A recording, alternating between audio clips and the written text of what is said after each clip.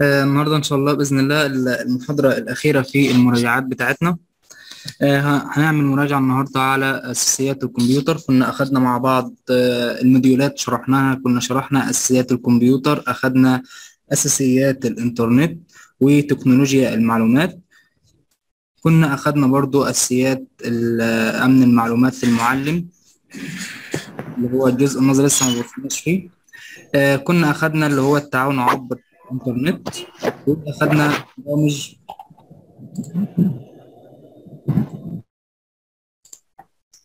آه، أخدنا اللي هو الوورد والباوربوينت والإكسل والأكسس. وأخدنا البريد الإلكتروني. وعملنا مراجعات على البرامج دي.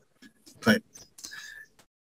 إن شاء الله بإذن الله النهاردة هنعمل مراجعة على أساسيات الكمبيوتر. هنعمل مراجعات على آه، أساسيات الكمبيوتر وبالأخص Windows 10 آه، دايما طبعا أول ما بفتح آه، Windows 10 بتظهر معايا ال desktop أو سطح المكتب بالشكل ده. فأي حاجة موجودة على سطح المكتب فأنا بسميها أيقونة. يعني كل ده اسمه أيقونة. طيب اللي شايفينه عامل زي شكل الكتاب ده اسمه folder أو مجلد. إيه الم- ملفات التشغيل دي اسمها file أو ملف.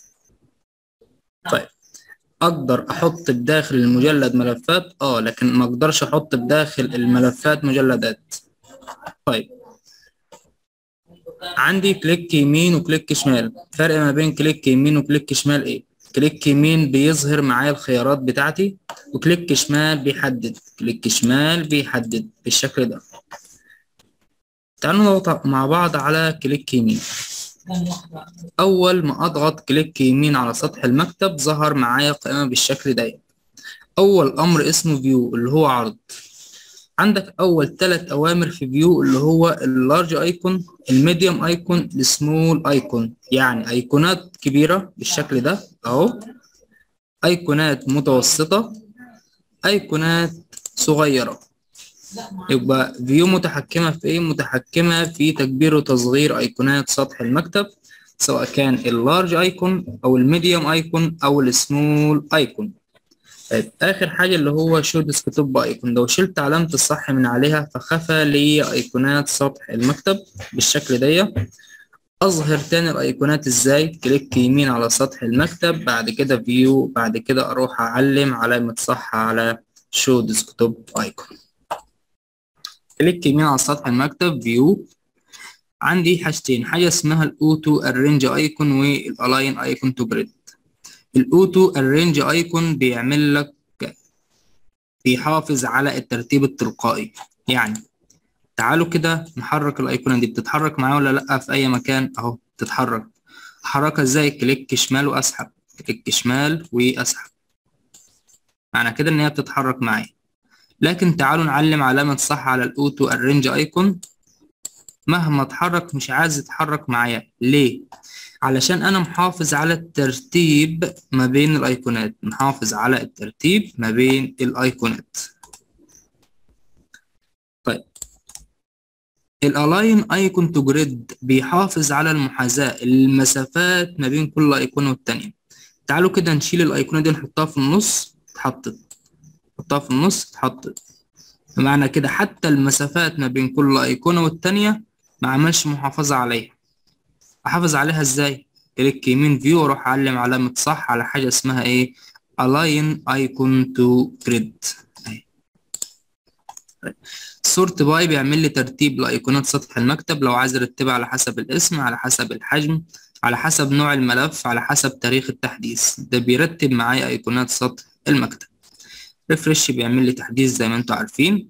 أما لو حبيت إن أنا أنشئ folder جديد من new وأختار folder وأسميه بالاسم اللي أنا عايزه.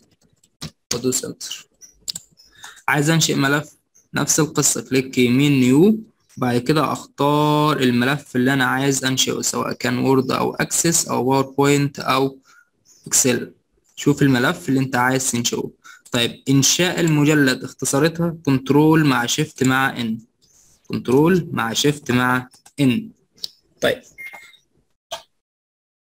عندك حاجة اسمها display setting أو إعدادات الشاشة. بتفتح معايا إعدادات الشاشة بالشكل ده أهو. هنا أول حاجة بيقول لك change the size of text apps and other item اللي هو تغيير حجم النصوص والتطبيقات والملفات الأخرى. لما أجي أختار 175 بص اللي حصل حجم الظهور للكلام بيجي كبير. 100 بيجي صغير. بس أنا هختار ال 125 في المية علشان قال لي recommended يعني موصى بها. موصى بها معناه إن هو من الأفضل إنك تختار اللي هي ال recommended ال resolution الدقة ومحدش يلعب فيها. محدش يلعب في الدقة. في بعض الأجهزة بتغير الدقة عشان ترجعها صعب ترجعها بتاخد وقت عشان تعرف ترجعها تاني. كل جهاز بيكون له دقة معينة غير الجهاز التاني. دقة اللي هي الظهور بتاع الكلام. طيب ال orientation اتجاه العرض. يعني إيه اتجاه العرض؟ الشاشة نفسها معروضة landscape معروضة أفقية. لو اخترت بورتريت فتعرضت بالشكل ده بقت رأسية. أنا لو دوست على revert هرجعها لي زي ما كانت. لكن لو دوست على keep change معناه أنا حفظت التغيرات اللي أنا عملتها. هنا بيعد ثواني لحد ما أخلص. خلص معايا. وده بالنسبة لإيه؟ لإعدادات الشاشة. طيب حلو خالص. جيت ضغطت click يمين على ال desktop وقلت له حاجة اسمها ال personalize أو تخصيص. personalize أو تخصيص. من خلال ال personalize ممكن أعمل كذا حاجة. أغير الخلفية بتاعت سطح المكتب من فين؟ من ال background وأروح عند ال background عند ثلاث اختيارات. يا إما ال picture يا إما ال solid color يا إما ال slide show picture بختار صورة واحدة بس أحطها خلفية بسطح المكتب. طب لو رحت على browse بختار صورة من الجهاز عندي. تختار صورة من الجهاز وتقول له بعد كده إيه choose picture اختيار الصورة. طيب لو عايز أخليها لون سادة solid color وبختار اللون السادة اللي أنا عايزه أهو. خلوه على سطح المكتب.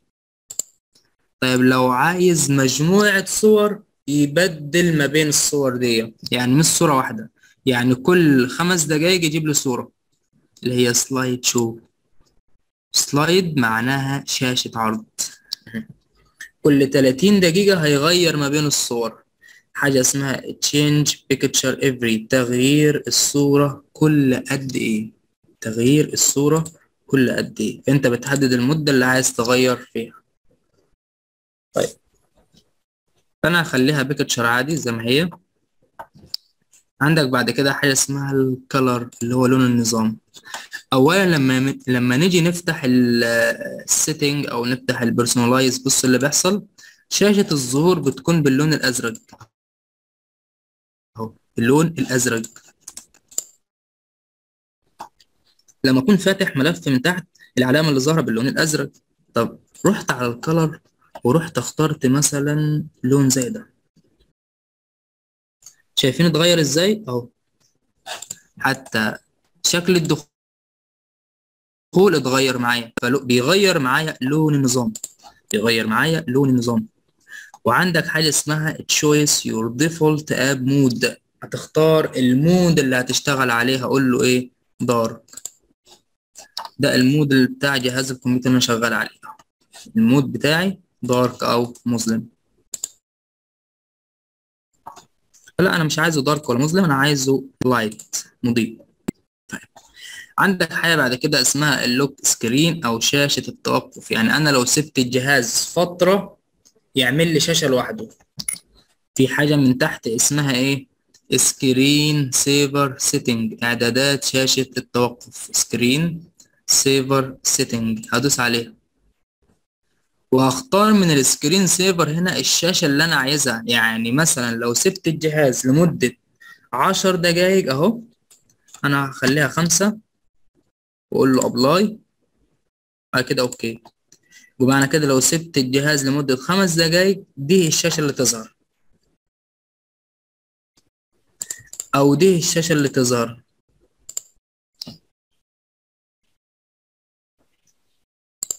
أو دي الشاشة اللي هتظهر.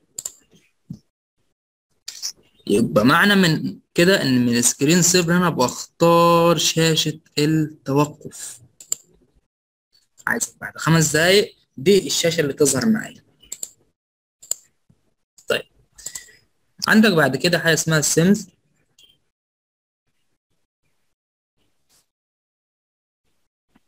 دي ال template بتاعة الكمبيوتر النموذج بتاع الكمبيوتر ده ال themes طيب لو أنا الأيقونات الأساسية اللي عندي مش ظاهرة وعايز أظهرها أظهرها إزاي؟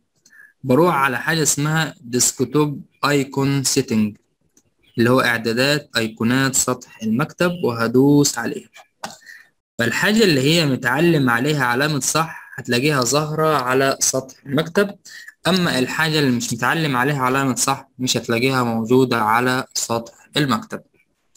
فأتأكد إن هي موجودة على سطح المكتب إزاي؟ إن هو معلم عليها علامة صح. طيب لو عايز أغير شكلها بتحدد الحاجة اللي عايز تغير شكلها وتقول له change icon تغيير الأيقونة. تقول له إيه؟ change icon أو تغيير الأيقونة. طيب أول ما أقول له change icon هروح أختار من هنا الأيقونة اللي أنا عايزها. أختار من هنا الأيقونة اللي أنا عايزها أو شكل الأيقونة. أقول له okay. هي كده اتغيرت. آه لو عايز أرجعها على شكلها الأساسي أحددها وأقول له إيه؟ Restore default استعادة الشكل الافتراضي أو الأساسي. طيب لو رحت على حاجة اسمها ال mouse cursor اولا إحنا لما بنكون شغالين فالجهاز بيهنج معايا. فالماوس يكون ظاهر إزاي؟ شكل الماوس نفسه. الماوس أدي الشكل بتاعه. لما يكون في حاجة بيحملها إيه شكل الظهور بتاع الماوس؟ يكون شكله إزاي؟ طيب ال button دي اللي هي ال speed السرعة بتاعت الماوس بتاعتك. سرعة الماوس من هنا من ال speed دي هي سرعة الماوس بتاعك. طيب ال pointer option لو عايز أعمل duplicate للمؤشر بتاعي أهو في حاجة اسمها display pointer هدوس عليها. أنا بعمل زي duplicate أو تكرار لمؤشر الماوس بتاعي.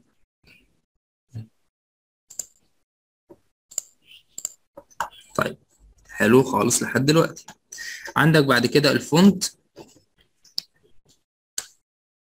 ال font دي الخطوط اللي انت معرفها على جهاز الكمبيوتر عندك. آه عايز انزل خطوط تانية تنزلها من هنا اكتب نوع الخط. دي كلها خطوط موجودة عندك. بالشكل ده كلها خطوط. طيب عندك بعد كده حاجة اسمها start و task bar إعدادات قائمة start أولا لو جينا بصينا هل في قائمة start لما أجي أدوس عليها في قائمة ظاهرة هنا بالتطبيقات؟ آه. بيظهر لك قائمة بالتطبيقات. هنا ال most used أكتر تطبيقات أنت استخدمتها. وهتنزل تحت بيرتب لك التطبيقات ترتيب أبجدي ترتيب أبجدي طيب. جيت هنا في كلمة اسمها show app list in start menu. Show app list in start menu يعني إظهار قائمة بالتطبيقات في قائمة start زي ما هو عامل كده. نخليها off. بص اللي حصل. شل القائمة اللي كانت موجودة. أظهرها تاني إزاي؟ أخليه إيه؟ on. طيب. عندك بعد كده حاجة اسمها show recently add apps. آخر تطبيقات أنت ضفتها على جهاز الكمبيوتر عايزها تظهر هنا ولا لأ؟ أهو ال recently added دي آخر تطبيقات موجودة عندك أهي. لو مش عايزها خليها. off. طيب بيقول لك show most used apps أكتر تطبيقات أنا استخدمتها زي كده. هيظهرها لك في group لوحده ولا لأ؟ طيب حلو خالص لحد دلوقتي. أول ما أفتح قائمة start هل قائمة start واخدة معايا الشاشة كلها ولا واخدة جزء؟ واخدة جزء صغير من قائمة start. خليها مثلا عند use start full screen خليها on أنا عايز قائمة start تاخد الشاشة كلها.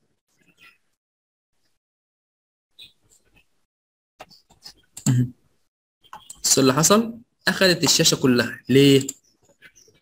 علشان في use start full screen خليتها on فأخدت معايا الشاشة كلها بالشكل ده. طب هخليها off أخدت جزء صغير من الشاشة. ده بالنسبة لإعدادات start. طيب بعد كده ال task bar. فين ال task bar؟ يقصد بيه شريط المهام. الشريط اللي من تحت ده. ده اسمه ال task bar. أنا عايز أحرك ال task bar. مش عايز اتحرك معايا. عندك أول أمر اسمه lock the task bar تثبيت أو قفل ال task bar أنا اعملها on يعني معنى كده أنا ما أقدرش أحركه. طيب نخليه off و click شمال في أي مكان فاضي في ال task bar واسحب. أهو بيتحرك. بيتحرك معاك. لكن لو خليته on مهما عملت مش هتحرك مهما حاولت تتحرك مش هيحرك معاك. طيب بيقول لك automatic hide the task bar in desktop mode فين ال task bar اختفى؟ فين ال task bar اختفى معايا؟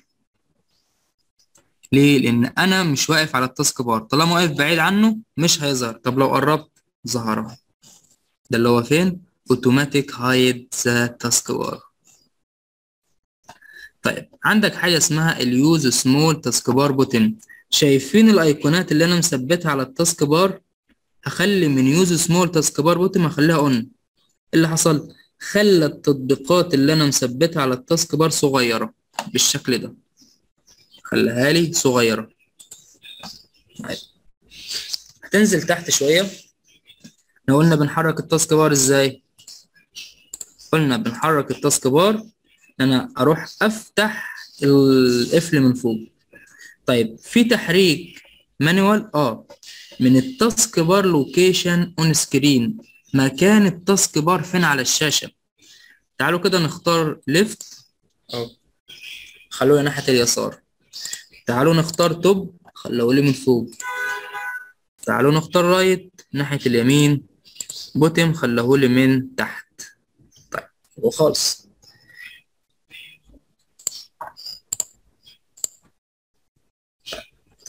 أي حاجة فاتحها من تحت. هل بيظهر لي الاسم بتاعها ولا لا؟ مش بيظهر الاسم. عندك حاجة اسمها ال combine task bar button تعالوا كده نختار when task bar full إيه اللي حصل؟ أي حاجة أنا فاتحها كاتب لي اسمها. أهو تعالوا نفتح ال Word. كتب اسمه جنبه. فأنا مش عايز أظهر الاسم ده هقول له إيه؟ Always hide labels يعني دائما اخفي لي العناوين. خفى لك العناوين بالشكل طيب. جيت هنا في قائمة start وعايز أثبت دي على ال task bar. أثبت أي تطبيق إزاي؟ click يمين عليه. click يمين عليه. وأقول له إيه؟ pin to task bar. كلمة pin معناها تثبيت يعني تثبيت على شريط المهام. بس محدش يقول أنا هثبت مجلد. لا. تطبيقات ومش ملف يعني مش ملف زي ده أنا شغال عليه. أنت بتثبت الملف الرئيسي. في الرئيسي هقول له من more هقول له pin the task bar أو pin to task bar يعني تثبيت على شريط المهام أهو اتثبت معايا تحت. أشيل أي تطبيق إزاي من تحت؟ click يمين عليه وأقول له إيه؟ unpin from the task bar يعني إلغاء التثبيت من شريط المهام. يا إما click يمين عليه وبدل ما أقول له pin هقول له unpin طيب عايز أثبته على قائمة start يعني هنا داخل start نفس القصة. بس ده هعمل له الغاء تثبيت start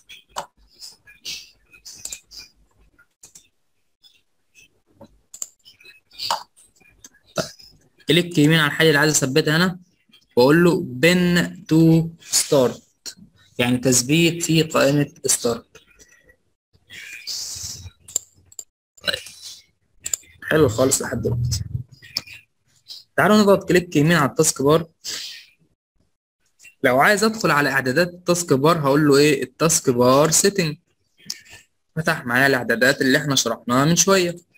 طب لو ضغطت كليك يمين ورحت شلت علامة الصح من كلمة اسمها lock the task bar إحنا قلنا كلمة lock معناها قفل ال task bar أول ما أشيل علامة الصح من عليها وتعالوا حرك هيتحرك معايا أهو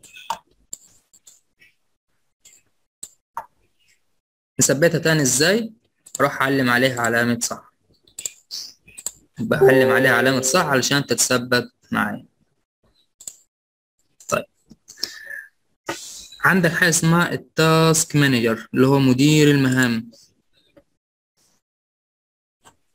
لو في تطبيق مهنج معايا وعايز تقفله تقفله إزاي؟ عن طريق ال task manager. تروح على ال task manager اهو وتحدد التطبيق اللي عايز تقفله وتقول له إيه؟ end task انهاء المهمة. يا إما لو أنا داخل جوه لعبة تمام أو جوه حاجة معينة فال task bar مش ظاهر معايا. في اختصارة alt مع control مع delete. Alt مع control مع delete هيفتح ليك برضو ال task manager طب لو أنا قاعد جوه this PC و click يمين على ال task bar وقلت له show the desktop هيوديك على سطح المكتب.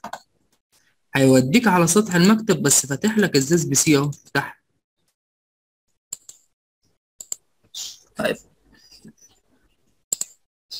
بيجي سؤال بيقول لك لو أنت فاتح برنامج Word اعمل لي ليه تصغير أو minimize أو طي في ال task bar. الطي ان أنت هتخليه من تحت أهو. أهو أنا خليته من تحت موجود بس هو مفتوح أصلا. أول ما أدوس عليه تاني هيفتح معايا. طيب حلو خالص. أنا لو عايز أدخل على this PC ليها اختصار آه control مع E. طيب داخل this PC وعايز أطلع بره this PC هل control مع مع E لا. مش control مع E Windows مع E في زرار في لوحة المفاتيح اللي هو علامة ال Windows. Windows مع E هيدخلك جوه this PC. طيب لو قاعد جوه this PC ودوست على Windows مع D هيطلعك على ال desktop أو سطح المكتب. يبقى alt مع مع control مع delete بيظهر ليك ال task manager طيب control مع shift مع N بينشئ لي مجلد جديد Windows مع E بيدخل لي على this PC. أما لو قاعد جوه this PC وعايز أطلع بره Windows مع D هيطلع لي على ال desktop أو سطح المكتب. لو عايز أحدد مجلدات بعيدة عن بعض control وأحدد باقي المجلدات اللي أنا عايزها. أحدد كل مجل كل المجلدات أو الملفات اللي أنا عايزها وما إيدي من control. أما لو عايز أحدد ملفات ومجلدات جنب بعض shift وما أشيلش إيدي من shift وأروح أحدد زي ما أنا عايز. لو جينا ضغطنا click يمين على ال task bar فوق خالص في حاجة اسمها ال tool bar اللي هي أدوات الشريط. أي حاجة بختارها من هنا هتلاقيها ظهرت معاك تحت. وليكن على سبيل المثال desktop أو ظهر معاك حاجة اسمها desktop أول ما أدوس على السهم اللي جنب desktop فتح لي كل الحاجات الموجودة على ال desktop أو سطح المكتب. ألغيها إزاي تاني؟ أشيل من عليها علامة الصح ال search هي خاصة بإيه؟ بأيقونة البحث، البحث ده لو عايز أدور على برنامج داخل الجهاز، عايز أدور على حاجة معينة داخل الجهاز، أهو. مثلا عايز أدور على ال Word بالشكل ده أهو، فأروح على البحث.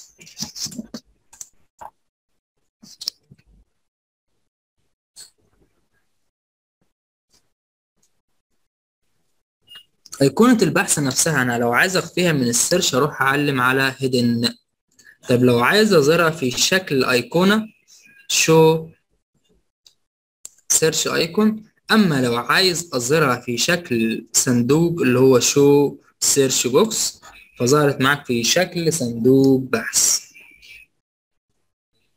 طيب. عندك show task view button بيظهر لي كل التطبيقات ظهرت معاك تحت أول ما تدوس عليها. دي كل الحاجات اللي أنت فتحتها اليومين اللي فاتوا. ده فتحته مثلا النهارده ده فتحته امبارح ده فتحته مثلا ستة وعشرين أربعة ده فتحته مثال ده تبع ستة وعشرين أربعة ده خمسة وعشرين أربعة. فبيديك التاريخ. فلو عايز أظهر أكتر أقول له يس فده بيقول لك الحاجات اللي انت فتحتها النهارده وامبارح ومن يومين مضى أو من ثلاث أيام مضوا اللي هو اسمه ال task view. أهو. ألغيه إزاي؟ أروح أشيل علامه الصح من عليه. طيب. ال show people on the task bar ده لو عايز أضيف جهات الاتصال بتاعتي أو الأرقام اللي أنا مسجلها على التليفون وأعمل شات دردشة معاهم عن طريق موقع من مواقع التواصل الاجتماعي.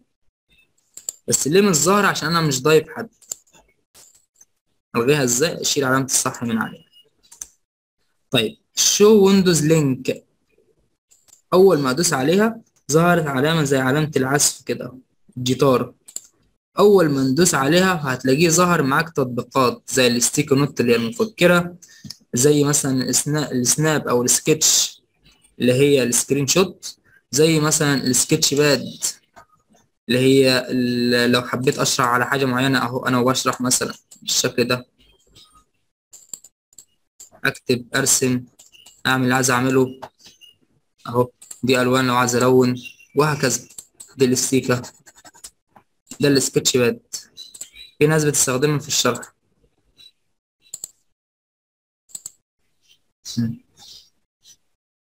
يعني note من خلالها بقدر أشرح. أنا عايز أعمل لها حذف. delete أهو. ألغيها إزاي؟ أشيل علامه الصح من عليها.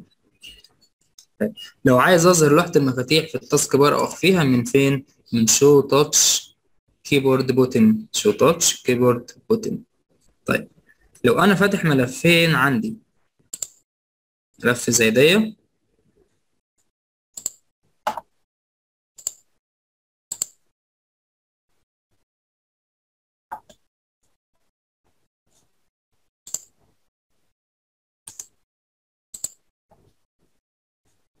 وملف زي ده أنا فاتحهم واقف عليهم واقف عليهم. هضغط click يمين على ال taskbar.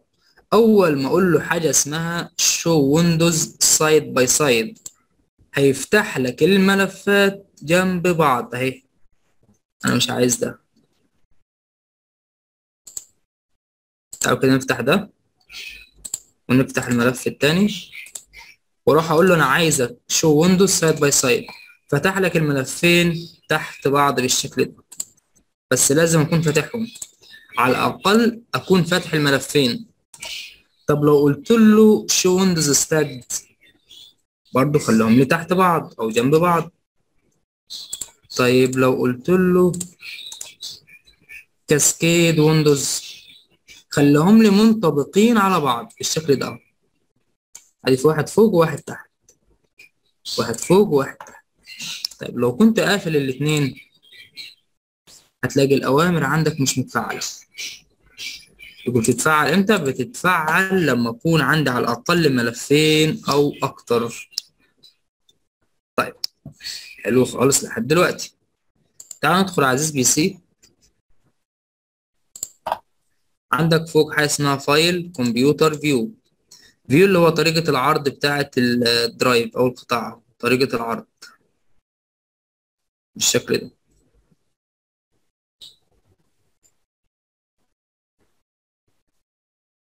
هنا ال sort by ده لو عايز أرتب ال drive أو القطاع عندي على حسب حاجة معينة. أما هنا ال navigation pane اللي هو شريط الإشعارات اللي ظهر في الجنب. اخفيه وأظهره من فين؟ من ال navigation pane. computer ده لو عايز أعرف خصائص الجهاز properties عايز مثلا أغير اسم drive معين هقول له rename أو open أو click يمين واختار rename أو اعاده تسميه آه لو عايز أدخل على الإعدادات هقول له open setting هيفتح معاك الإعدادات. آه عايز أعرف برضو خصائص الجهاز system properties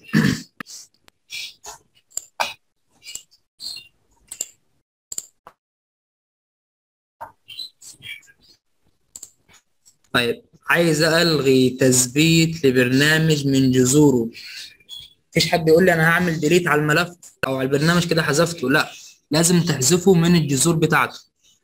أي واحد بيزرع شجرة لازم بيزرعها من تحت الأرض. يعني ترمي بذرة في الأرض والبذرة بتطلع أو بتنبت معاك الشجرة الكبيرة. فالبذرة دي أنت علشان تموت الشجرة لازم تشيل البذرة. نفس القصة. البرنامج علشان أشيله من خالص من الجهاز لازم أموت البذرة بتاعته لازم أشيله من الجذور. أروح على حاجة اسمها install or exchange program. install or exchange program. طيب. المفروض إن هيظهر معاك تطبيقات أهو. ظهرت. استنى عليها شوية لحد ما تحمل. أي تطبيق عايز أشيله احدد التطبيق وأروح أقول له إيه؟ انستول أو إلغاء التثبيت. بس. عشان ألغي تطبيق من جذوره لو عندي مجلد زي ده وعايز اخد المجلد ده click يمين properties أو خصائص. هروح أعلم علامة صح على hidden بعد كده أقول له apply بعد كده okay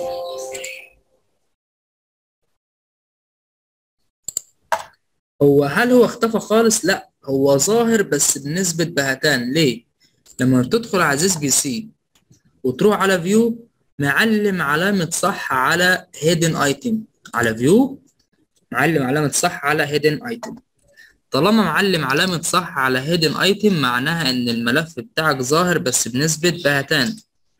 طيب في طريقة تانية أعرف إن الملف ظاهر بنسبة بهتان ولا لأ؟ آه من file واختار option أو change folder and search option وأروح على view من فوق هتلاقيه معلم على كلمة اسمها show hidden files يعني هيعمل إظهار للملفات المخفية طب لا أنا عايز أخفيه خالص. أخفيه إزاي؟ أشيل علامة الصح من ال hidden item أو هروح على file بعد كده change folder and search icon ومن view هعلم علامة صح على don't show طيب اختفى. أظهره تاني إزاي؟ هعلم علامة صح على ال hidden item فالحاجات المختفية ظهرت. حلو. بعد ما ظهر بس ظهر بنسبة بهتان عايز أرجعه زي ما كان تاني الأول. click يمين properties وأروح أشيل علامة الصح من hidden. واقول له apply. بعد كده okay. أهو ظهر. طب لو عايز أخلي الملف ده للقراءة بس مثلا عشان ما أعدلش فيه click يمين properties وأروح أعلم علامة صح على إيه؟ read only. يعني أنت مش هتعدل ولا تغير فيه هتقراه بس. طيب. عندي ضغطت عندي مجلد بالشكل ده click يمين وضغطت على properties أو خصائص. فهيظهر لك خصائص الملف. أدي اسم الملف وأدي نوعه. نوعه بيقول لك إيه؟ folder ال location مكانه فين بالظبط؟ هتروح على ال C بعد كده ال user بعد كده لغة العصر بعد كده ال desktop هتلاقيه فين؟ في ال desktop. عندك ال size حجم الملف الأصلي ال size on disk حجمه على سطح المكتب أو القطاع. كونتين يعني المجلد ده بيحتوي على إيه؟ بيحتوي على 155 files 155 ملف و53 folder هنا created أنا أنشأته إمتى؟ أنا أنشأت الملف ده إمتى؟ حتى لو جيت ضغطت عليا فهتلاقيه ظهرت معاك حاجات تانية أهو. created أنشأته إمتى بالظبط؟ modified إمتى حدثت عليه؟ access ده إمتى فتحته؟ إمتى فتحته؟ آخر مرة. طيب ال type of file بيقول لك اسمه مايكروسوفت وورد document طب هتفتحه بإيه؟ هتفتحه بالوورد. ومديك هنا اسم الملف اللي أنت مسميه. طيب عندي مجلد زي ده. وعايز أغير شكله. click يمين properties بتروح على آخر حاجة اسمها customize آخر حاجة عندك اسمها customize بعد كده تقول له إيه؟ change icon أو تغيير الأيقونة. وبتختار الشكل اللي أنت عايزه. مثلا الشكل ده واقول له okay. بعد كده apply بعد كده okay. إيه اللي حصل؟ أهو اتغير شكله. أرجعه زي ما كان إزاي؟ من change icon وأقول له إيه؟ restore default أو استعادة الشكل الافتراضي أو الشكل الأساسي. عايز أعرف خصائص الجهاز بتاعي click يمين على this PC وأقول له إيه؟ properties أو خصائص. ظهر ال processor المعالج وال RAM اللي هو ذاكرة القراءة والكتابة وال system type اللي هو نوع النظام والنسخة أو الإصدار بتاعك. أو هتلاقيه كاتب لك من تحت كلمة اسمها ال edition اللي هو الإصدار بتاعك. طيب. لو عايز أفتح الآلة الحاسبة أفتحها من فين من ال search أروح أكتب له إيه؟ calculator. وأروح أفتحها. دي الآلة الحاسبة بتاعتي. لو عايز أحولها إلى آلة علمية من هنا من ثلاث خطوط اللي تحت بعض وأقول له إيه؟ scientific. آلة اللي هو الشكل الافتراضي standard دي الآلة الحاسبة بتاعتي. عايز أفتح الأجندة أقول له calendar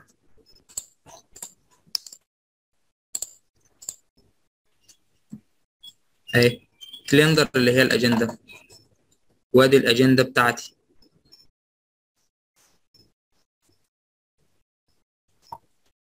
أنا مش عايز ده هقول له كليب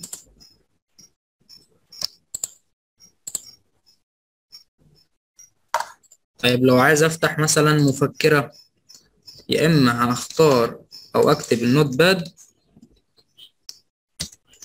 أهي فتح معايا المفكرة. يا إما ال sticky note وإيه الفرق ما بين الاتنين؟ إن ال sticky note دي لو سبتها مفتوحة بالشكل ده وقفلت الجهاز هتفضل موجودة زي ما هي. معلش انتظركم بس يعني بدون بس دقيقة. عايز أفتح زي ما قلنا الفرق ما بين ال sticky note وال notepad. إن ال notepad آه سواء قفلتها أو سبتها مفتوحة هتتقفل بمجرد ما أقفل الجهاز. أما ال sticky note لو سبتها مفتوحة ورحت قفلت الجهاز وفتحته تاني هتلاقيها موجودة زي ما هي. تلاقيها موجودة زي ما هي. طيب ال snipping اللي هو ال screenshot ده لو عايز أخد لقطة للشاشة من new كده أنا خدت لقطة ليه؟ من هنا بتحدد ال mode بتاعك. أنا مش عايزها. طيب عندك بعد كده الرسام اللي هو اسمه ال paint P A ده لو عايز افتحه واشتغل عليه. عندك الرسام 3 دي أو بنت 3 دي فدي كلها برامج ممكن تشتغلوا عليها. معلش ثواني كده واكون معاكم تاني. طيب نكمل. زي ما قلنا عندنا برامج زي الآلة الحاسبة والأجندة والرسام ورسام 3 دي والمفكرة سواء كان notepad أو ال sticky note.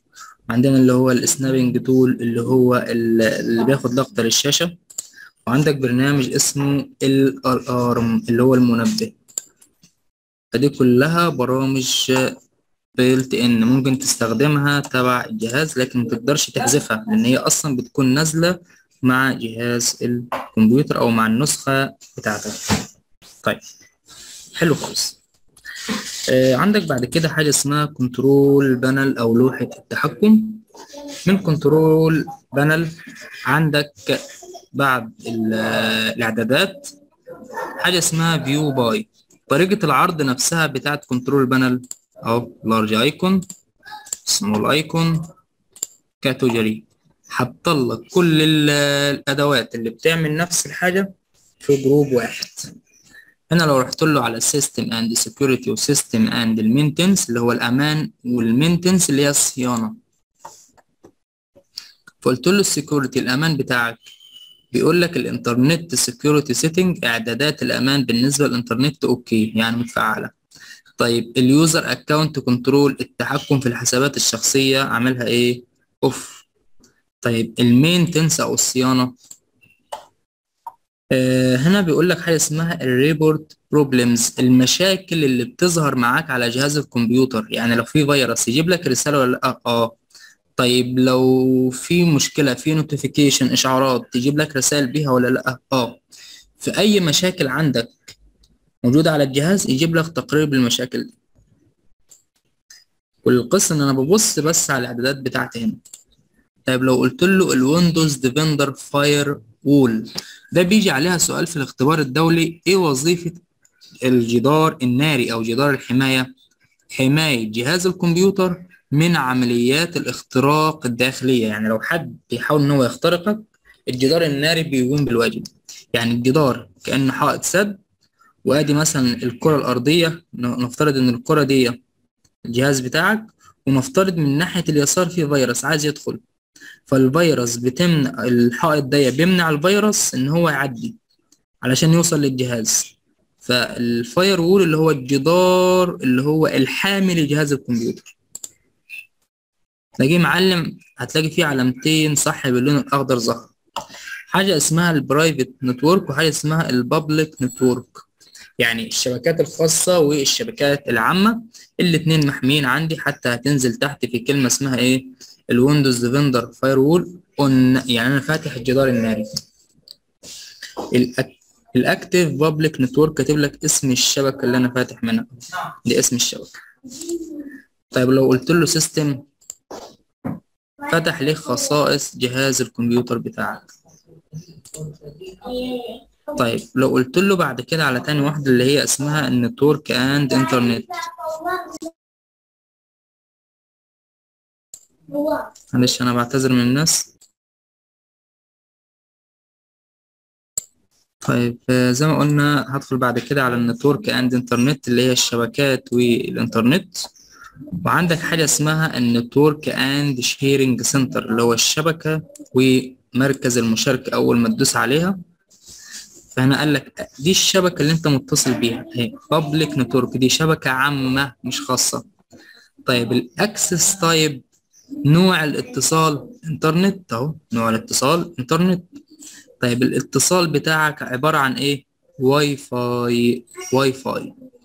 يعني اتصال لاسلكي مش اتصال لاسلكي. الاتصال عندك لاسلكي وسلكي. الواي فاي اللي هو اللاسلكي اللي هو الاتصال الهوائي. طيب أنا كده معناه إن أنا متصل. لكن لو جاب لي رسالة مثلا أو عمل لي علامة X وكتب لي كلمة اسمها ال Not connected معناها إن أنت غير متصل بالإنترنت. طيب عندك بعد كده حاجة اسمها ال Internet Option إعدادات الإنترنت.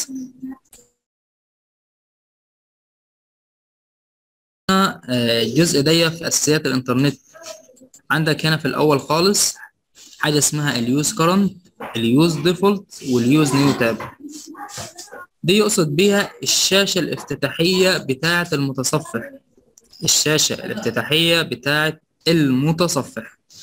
أول ما أفتح المتصفح إيه الشاشة اللي تظهر معايا؟ فأنا لو فاتح مثلا كمثال فاتح متصفح مايكروسوفت. أو فاتح أنا آسف صفحة مايكروسوفت. وعايز أخلي الصفحة اللي أنا واقف عليها دلوقتي هي الشاشة الافتتاحية. هقول له Use current أما لو عايز أخلي الشاشة الافتراضية بتاعة المتصفح هي الشاشة الافتتاحية زي جوجل أول ما تدخل عليها مثلا دي الشاشة اللي بتظهر قدامك. لو عايز أخلي دي هي الشاشة الافتتاحية اختار Use default أما لو عايز أستخدم شاشة تانية خالص ولا عايز أستخدم الصفحة اللي أنا واقف عليها دلوقتي ولا الصفحة الافتراضية هقول له Use new tab طيب. عندك بعد كده حاجة اسمها Delete لو عايز أحذف كلمات المرور الموجودة عندي يعني بمجرد ما هطلع من أي موقع من مواقع التواصل ومدخل كلمة مرور عايز أحذفها أروح أعلم علامة صح على Password وأقول له Delete أما لو عايز أحذف السجل بتاعي علامة صح على History وأقول له Delete أما أي حاجة بنزلها من الإنترنت عايز أعمل لها أه حذف أحدد Download history وأقول له برضو Delete أو حذف طيب. ده بالنسبة لل Internet Option عندك بعد كده ال Hardware and Sound اللي هو الأجهزة والطابعات. وعندك فوق خالص كلمة اسمها ال Devices and Printer اللي هو الأجهزة والطابعات بيجي عليها سؤال في الاختبار الدولي. خلي لي الطابعة مثلا فاكس هي الطابعة الافتراضية. أيا كان الاسم اللي هو قالك عليه. هضغط click يمين عليه وأروح أقول له إيه set as default printer يعني تعيين كطبعة افتراضية يعني دي الطبعة اللي أنا هطبع عليها. طيب أنا اديت أمر للطبعة وعايز أعرف الأوامر اللي أنا اديتها عشان أطبع.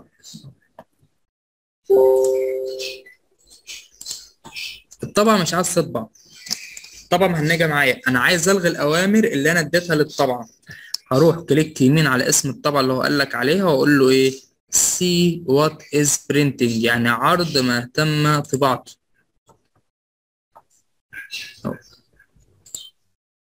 فتحت معايا بالشكل ده عشان خاطر أنا أصلا. هتفتح معاك كده. أنا لو مدي أمر للطبعة هتلاقي الأوامر موجودة عندك هنا. طب لو عايز ألغي أمر معين كليك يمين عليه وأقول له إيه؟ كنسل أو إلغاء الأمر. كنسل أو إلغاء الأمر. عايز أضيف مثلا جهاز أهو من فوق خالص اسمه Add device عايز أضيف طابعة Add printer عايز أعمل إزالة للجهاز ده ريموف ديفايس عايز أعرف الأوامر اللي أنا اديتها للطابعة See what is printing. وهكذا. يبقى دي خاصة بالأجهزة اللي عندك والطابعات المتوصلة بجهاز الكمبيوتر. عندك الأمر الرابع من هنا اسمه program أو برامج. وأروح أقول له program and feature هنا المرة دي لو عايز أعمل إلغاء تثبيت لبرنامج معين أحدد البرنامج اللي عايز أعمل له إلغاء تثبيت وأقول له uninstall يبقى أروح على control panel و program و program and feature وأحدد التطبيق اللي عايز أعمل له إلغاء تثبيت وأروح أقول له إيه؟ uninstall أو إلغاء التثبيت. uninstall أو الغاء التثبيت. طيب. عندك بعد كده ال user account أو الحسابات الشخصية. اولا أنا لما أجي أعمل شاشة توقف. حلو؟ لما أجي أعمل شاشة توقف. فبيظهر لي اسم حساب معين. اسم الحساب ده أهو هتلاقيه هنا. اسمه Eng محمد رمضان. أهو. عايز أغير الاسم ده هروح على ال user account وأروح على ال user account واقول له أنا عايز أغير الاسم ده اسم الحساب. هقول له change your account name أو تغيير اسم الحساب وأكتب الاسم اللي أنا عايزه وأقول له إيه change name أو تغيير الاسم. طيب. جيت قلت له بعد كده حاجة اسمها ال personalization أول ما هدوس عليها وأقول له ال taskbar and navigation فتح ليك إعدادات ال taskbar اللي إحنا شرحناها من شوية. طيب عندك حاجة بعد كده اسمها ال clock and region الساعة والمنطقة. وأروح أقول له ال date and time تاريخ والوقت عايز أغير التاريخ والوقت هروح أقول له change date and time أو تغيير التاريخ والوقت وأروح أغير التاريخ والوقت زي ما أنا عايز من هنا طيب. ده اللي هو من خلالها بغير التاريخ والوقت. طيب عندك بعد كده حاجة اسمها ال region أو المنطقة أو اللغة الأساسية بتاعت الجهاز بتاعتك. اللغة الأساسية عندك إنجليزي. طيب في حد يقول لي مثلا أنا لو شغال دلوقتي على Excel أو على Access وعايز أخلي العملة بتاعتي بالجنيه المصري والجنيه المصري مش ظاهرة. ليه؟ علشان هنا مش مخلي اللغة الرسمية بتاعتك أو لغة التعامل بتاعتك عربي. علشان أضيف الجنيه المصري للبرامج بتاعتي أخلي من format هنا أختار Arabic دور على اللغة العربية واختارها هيختارها لك. طيب. عندك هنا حاجة اسمها ال short date ال long date short time long time ال short time لو جيت بصيت تحت بيظهر معاك الساعة والدقيقة. أما الشورت أما ال long time بيظهر معاك ساعة ودقيقة وثانية. ال short date بيظهر معاك التاريخ بالأرقام بس. أما ال long date بيظهر معاك اليوم والشهر وحتى تاريخ اليوم والسنة بتاعتك. أما ال first day of week أول يوم في الأسبوع أنا بالنسبة لي أنا مخليه هنا الاحد ممكن تخليه Saturday اللي هو السبت. قول له apply طيب نرجع تاني. عندك حاجة اسمها ال ease of access اللي هو تحسين إمكانية الوصول أقول له ease of access دي اللي هي برامج تحسين إمكانية الوصول. البرامج دي صممت لذوي الاحتياجات الخاصة. أول حاجة دي اسمه مكبرات الشاشة اللي هو ال zoom. ده قارئ الشاشة اللي هو بيقرا ليك الكلام الموجود على الشاشة. أما ال start on-screen keyboard ده بيظهر ليك لوحة المفاتيح على الشاشة زي ما إحنا ضفناها فين؟ في ال taskbar ده بيميز الأصوات تمييز الأصوات طيب انت لو معاك لوحة مفاتيح ناحية اليمين في لوحة المفاتيح هتلاقي فيه زي أرقام جنب بعض مش من فوق لا الأرقام اللي هي على يمين لوحة المفاتيح اللي هي تحسهم فوق بعض اللي هي واحد اتنين تلاتة وفوق الواحد أربعة وفوق الأربعة سبعة وهكذا التسع أرقام اللي موجودين على يمين لوحة المفاتيح لو مش شغالين وعايز أشغلهم أشغلهم إزاي؟ في حاجة اسمها هنا make the mouse easier to use. هدوس عليها وأروح من هنا أروح اعلم علامة صح على كلمة اسمها turn on mouse key. واقول له apply وبعد كده okay تعالوا كده نفتح. عندي أي حاجة أهو. تعالى نكتب بيها مش عايز تكتب. ليه مش عايز أكتب؟ لأن أنا معلم علامة صح على ال on mouse key أروح عليها أروح أشيل علامة الصح من عليها أهو من turn on mouse key أول ما تشيل علامة الصح وتروح على أهو تكتب هيكتب معاك الأرقام.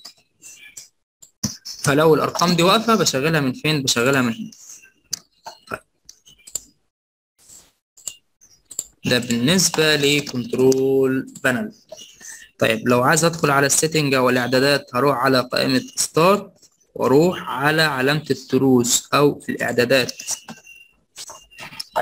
أول حاجة في الإعدادات بيقول لك ال system. ال system هيظهر لك إعدادات الشاشة اللي إحنا شرحناها من شوية. طيب ال devices الأجهزة. لو عايز أضيف جهاز بلوتوث أضغط على كلمة بلوتوث وأقول له إيه؟ add Bluetooth يعني إضافة جهاز بلوتوث. وهيبحث معاك. طيب لو عايز أضيف طبعة من printer وأروح أقول له add printer يعني اضافة طبعة طيب عندك بعد كده حاجة اسمها الماوس. عندك حاجة اسمها الماوس. وتروح على حاجة اسمها ال additional mouse option إعدادات إضافية للماوس. فتح معاك اللي إحنا شرحناها من شوية. اهو اللي شرحناها من فين؟ جبناها من فين؟ click يمين personalize themes وال mouse cursor اهي وليها كام طريقة؟ أكتر من طريقة. طيب ال phone ده لو عايز أعمل ربط ما بين التليفون وما بين إيه؟ جهاز الكمبيوتر بس لازم أكون متصل بالإنترنت. هنا ال network and internet بعرف إذا كنت أنا متصل بشبكة ولا لأ. هنا طالما ظهرت علامة الكرة الأرضية واللاب بتاعك أو الجهاز بتاعك وفي النص رمز الشبكة وكاتب لك اسمها معناها إن أنا متصل بالإنترنت. لكن لو مش متصل هيقول لي إيه؟ not connected أو غير متصل. ده الواي فاي اللي عندي أهو. أنا فاتح الواي فاي وأدي الشبكة المتصل بيها بيقول لي إيه؟ connected اللي هو متصل. ده اللي هو وضع ال hotspot اللي هو نقطة اتصال الهواتف المحمولة. ده لو. أنا لو عندي فاتح بيانات الهاتف على التليفون وعايز أوصل النت لحد تاني أو التليفون تاني بفتح بيانات الهاتف. وافتح بعد كده حاجة اسمها نقطة اتصال الهواتف المحمولة. طيب. عندك بعد كده ال personalization فتح ليك إيه؟ فتح ليك اللي إحنا فتحناه من شوية من ال personalize فتح ليك اللي هو ال background الخلفية ال color اللي هو لون النظام lock screen شاشة القفل السمزات اللي عندك الخطوط اللي عندك إعدادات قائمة start وإعدادات ال taskbar.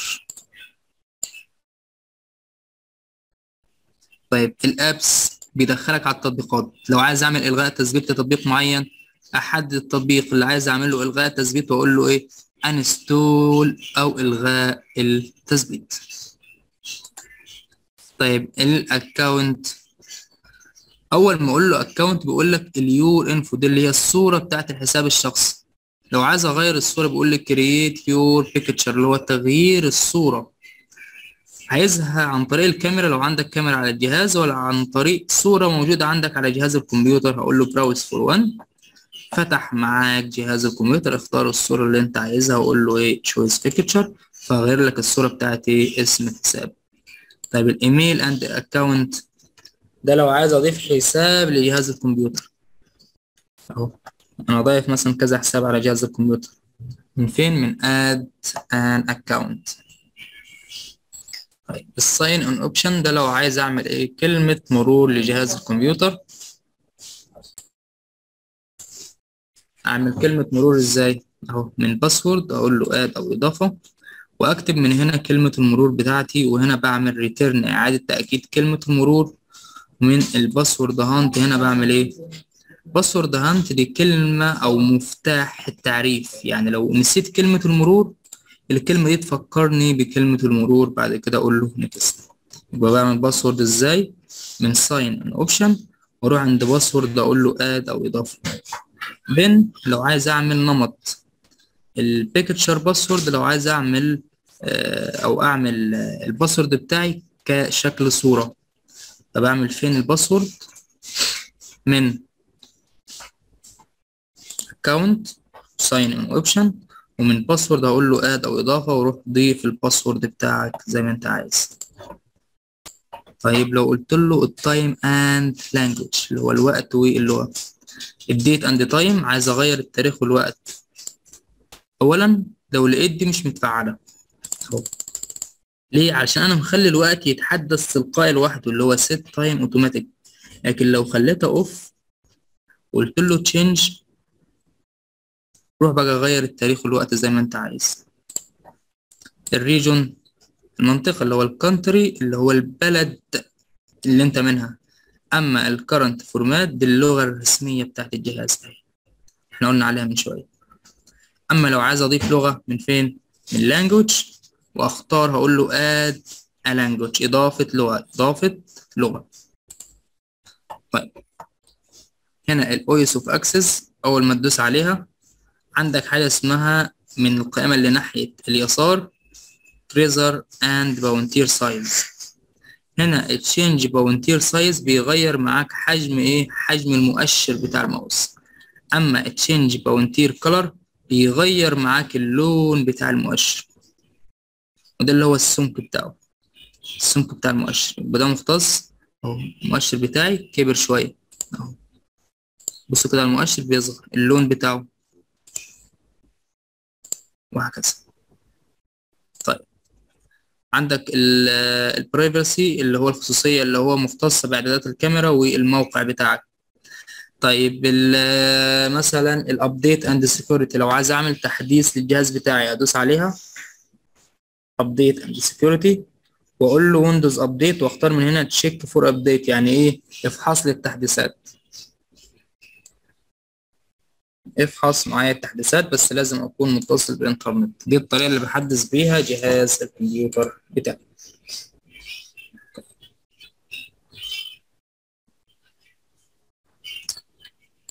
عايز أحذف مجلد معين click يمين وأقول له إيه delete أو حذف. عايز أعمل له إعادة تسمية rename أو إعادة تسمية.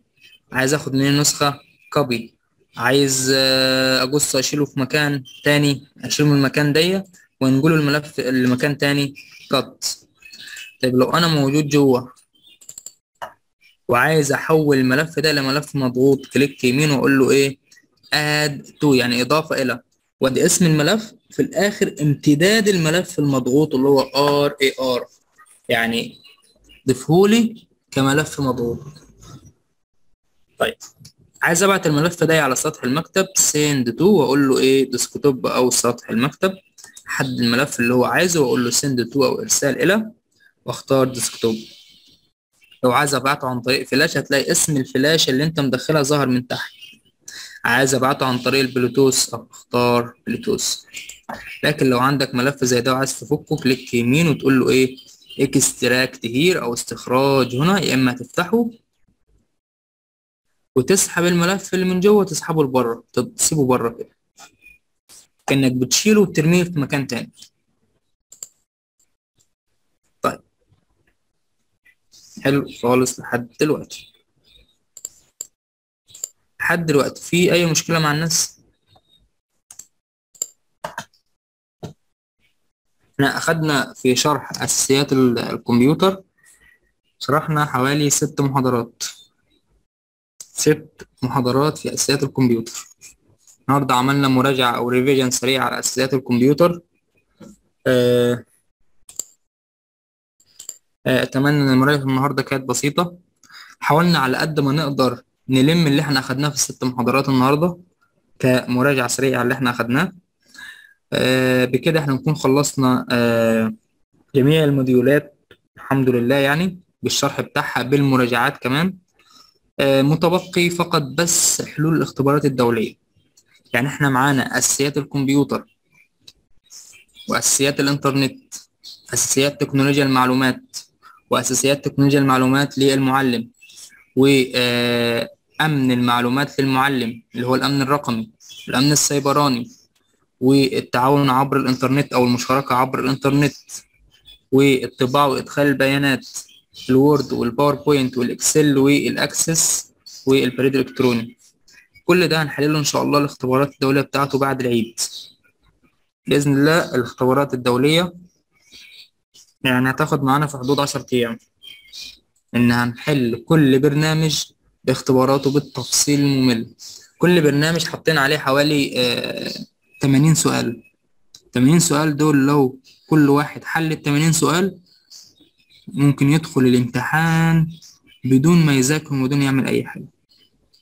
يعني مم، 80 سؤال دول يعتبر بيجي منهم بس 36 سؤال في الاختبار الدولي. يعني بعد ما تخلص حلول الاختبارات معايا ممكن بكل سهولة إن شاء الله تدخل سواء كان الاي سي دي ال ولا اي سي دي ال تيتشر أو الاي سي 3 للعلم اللي عايز يدخل من دلوقتي يدخل يدخل ويطمن. كل اللي إحنا شرحناه مش هيكون بره الاختبارات الدولية. بس هيكون ناقص لكم اللي هو الجزء النظري. لسه على النظري أصلا عن النظر هنشرحه في صيغة آه، يعني إن شاء الله بإذن الله بعد العيد بعد ما نحل الاختبارات الدولية آه، ممكن أول محاضرة أو أول محاضرتين قبل ما نبتدي في الحلول نشرح النظري. نعمل شرح شامل على النظري في أول محاضرتين أو أول ثلاث محاضرات وبعد كده نحل الاختبارات الدولية بإذن الله مع بعض. بحيث إن أنتوا تكونوا أخدتوا كل حاجة سواء كان بالآي سي دي إل والاي سي دي ال تيتشر أو اي سي 3 وأتمنى إن الناس بعد آه، الكورس ده تطلع تكون مستفادة سواء كان بالثلاث شهادات دول. تبقى بس جاهز إن أنت تدخل على الاختبارات الدولية على طول.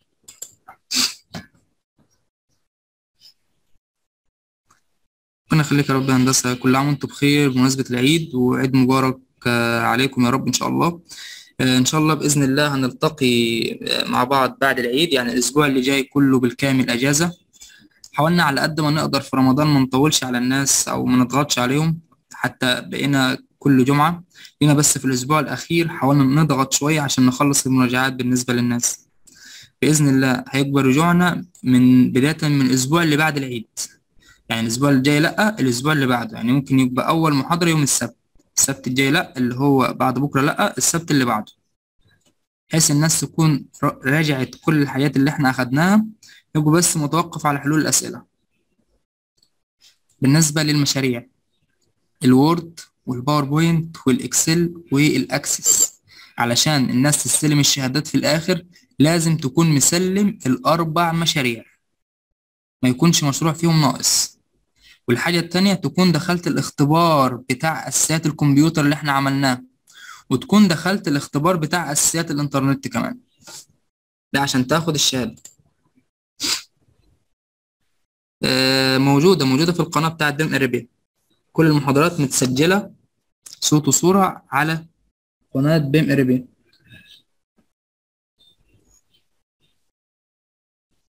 هم، حد عنده سؤال بخصوص كل اللي أخدناه لحد دلوقتي؟